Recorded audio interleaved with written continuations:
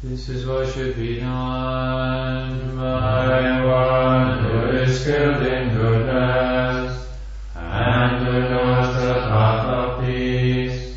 Let them be able and upright, straightforward and gentle in speech, humble and not conceited, contented and easily satisfied, unburdened with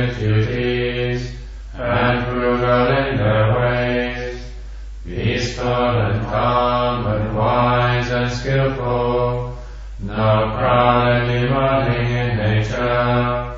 Let them not do the slightest thing that the wise would later reprove, wishing in gladness and in safety, may all beings be at ease.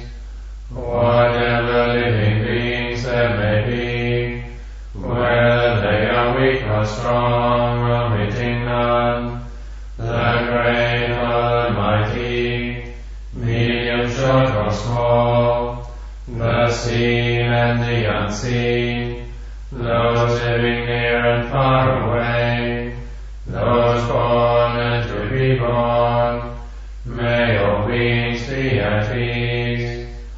Let none deceive another, despise any being in any state.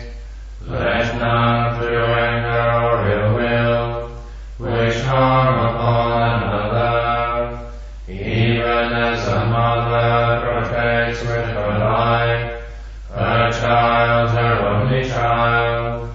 So with a boundless heart should one cherish all living beings,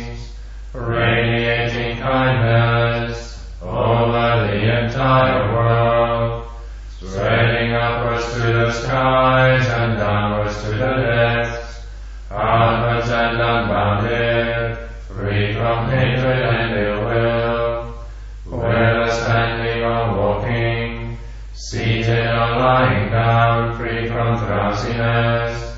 One should sustain this recollection. This is said to be the sublime abiding. Views, the pure-hearted one, having clarity of vision, being freed from all sense desires, is not born